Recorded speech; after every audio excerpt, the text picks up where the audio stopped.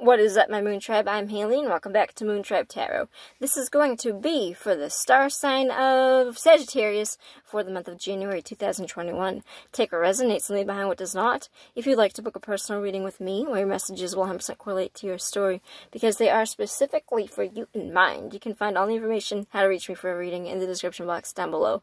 If you like the content that I make and you'd like to support me, please go smash the like and subscribe buttons.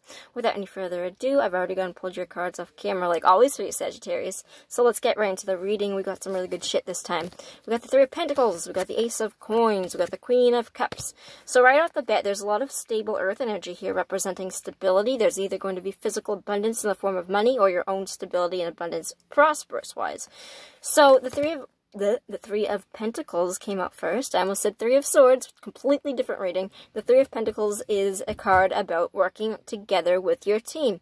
Now, because I got this for money, it can either be one of two things. It's either physical abundance in the sense that this is your coworkers working together very closely to make a goal meet, or this is abundance-wise at home in your own personal life, aside from work. It represents um, emotional abundance. So take, take this in either one of two ways. This is either going to be, um, I think, think it's going to be an emotional spread because we have the Queen of Cups as the outcome, but it could be one of two things. It's either going to be that you're working together very hard on your goals um, with people in your work or your family, or it's going to be more of a I don't want to say it's more of a relationship thing, but it's more about your abundance. It's about working together on your abundance. So take this how it resonates. I'm just going to read the card as it is.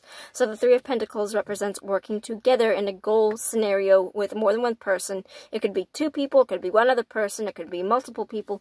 Uh, there are three people indicated here. It represents working together on a goal. And working together hard is going to give you some sort of new abundance or some new sort of physical money. Um, so it's saying that the work that is put out here with your team is going to actually produce something productive.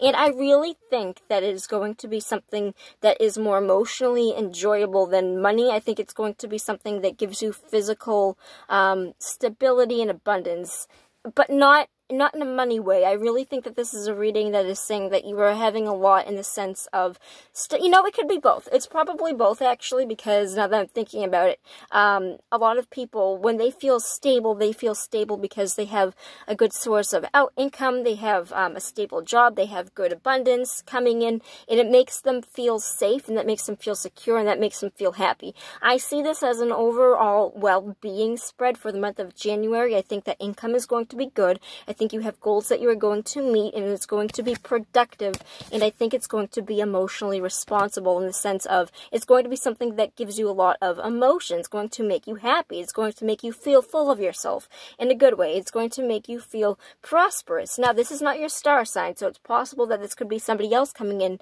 um, and making you feel this way. It could be a person at work. It could be your family. It could be a relationship. It could also still be you because I really read for the energy more than I do um, the, the card card. It, so this is a Pisces, Cancer, Scorpio Queen. It could be a man that is an Aries. It really doesn't matter as long as this person is portraying the Queen of Cups. It'd be a more feminine card of somebody that is really good at having a relationship or emotional understanding of how to have relationships. Doesn't have to be committed. It's just she understands how to have relationships. This person understands. Um, they would be a healer. There'd be somebody that is really good at talking to people and expressing um, how they feel to make them feel good. So there'd be a, a tarot reader, a therapist, therapist, somebody that's a Reiki healer, a doctor, a nurse, anybody that's in rehab, somebody that heals, somebody that is trying to make you heal.